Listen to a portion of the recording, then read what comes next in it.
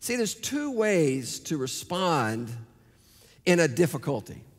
See, he talks about if anyone is caught in any transgression. Now, I'm going to break that down more in just a moment, but here it is. Because you're, the, you're part of the family, because you're brothers and sisters in Christ, there's going to be people who stumble along life's way. Now, Levi, can you help me here?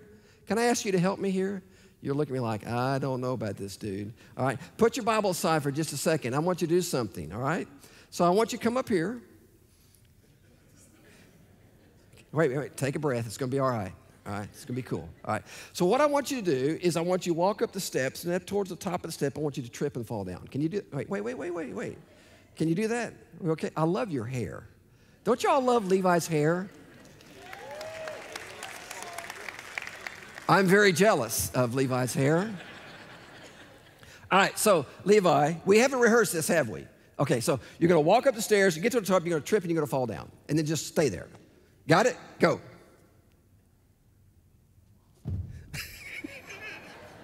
Give him a hand. That was awesome. All right, now wait, wait, wait, wait. Stay there. So if I was to come over and go, Levi, you have to look at me, buddy. Okay. Turn this way. You can, that's cool. Okay. Levi, didn't you see the stairs? Don't you know?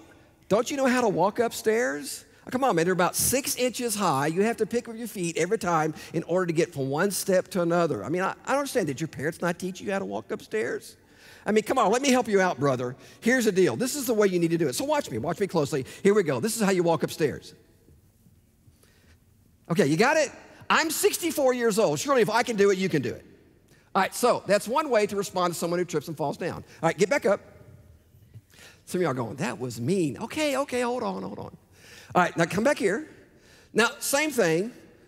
Walk up the stairs, trip and fall down.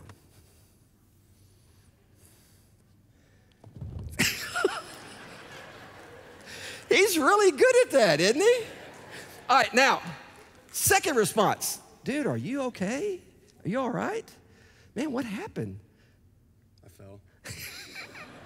Man, let me check it. Is, are you okay? Is your ankle okay? Do you need any help? Do we need to call a doctor or anything? You think you're okay? Yeah, man. Now listen, I, man, I, I just so sorry that happened to you. Man, I want to be here for you to Let's, let's sit here for just a moment and we'll just kind of chat for a little bit and make sure you're okay. So, did you get dizzy or anything? Or you can go back. All right. All right. Thank you, Levi. All right, so obviously there's two responses to the same situation. One response was, surely you know how to walk upstairs. Surely you can do that without falling down. What is wrong with you? Why did you fall down? Let me show you how to do this. You say, Well, why are you doing that? Because I'm afraid that's how sometimes the churches responds to people who fall down. See, the Bible doesn't say there's there's a possibility you're going to fall down. The Bible says, no, when you fall down, when you fall into transgressions, it's going to happen. Listen, brothers, I fall down. Sisters, I fall down. You fall down.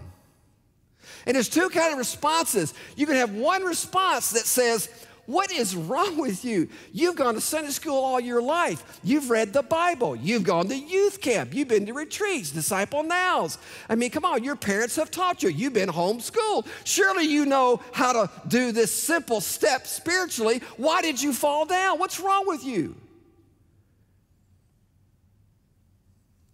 Or you come alongside him and go, Oh man, I'm, I'm so sorry. I'm so sorry this has happened to you. And I'm here. I'm here to help you. Is there something you need? Some medical attention?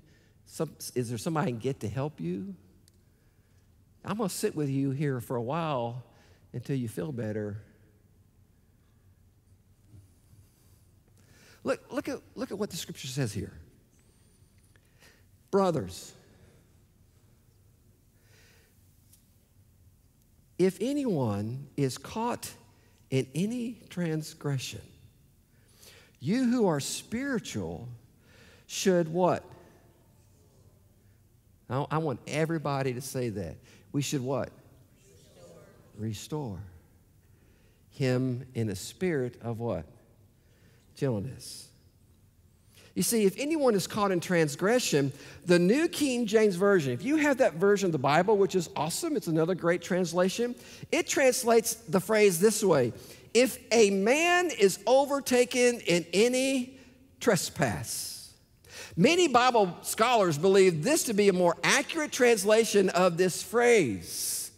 The picture is this it's not that Levi came up here and went, dude, what I want to do is walk up here, trip, fall down, embarrass myself in front of the whole church. Well, I asked him to do that, so he had to. But I mean, if it was by himself, he didn't intentionally sometimes do that. But sometimes life gets the best of us.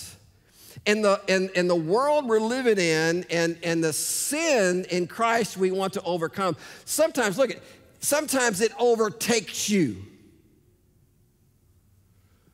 and you trip and you fall. Listen, Warren Wiersbe puts it this way the word overtakes, overtaken carries the idea of being surprised, so it is not to a case of deliberate disobedience. Now, Levi didn't come here today going, you know what, I can't wait for Pastor Paul to pull me out, out of the crowd and ask me to walk up and trip and fall down. He, he didn't know that was coming.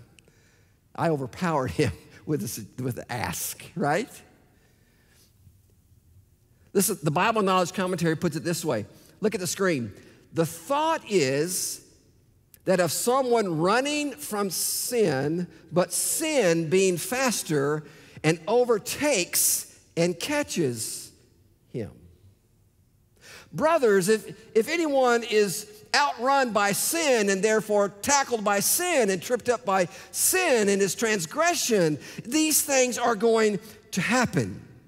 Dr. John MacArthur uh, talks about this sentence in this way. Listen, I quote The first responsibility of a spiritual believer who seeks to restore a fallen brother is to help pick him up. When a person stumbles, his first need is to get up, and often his needs assist him in doing this. When someone trips and falls down, the first thing they need is not, What is wrong with you? How many of you heard this? Don't raise your hand. You know better than that.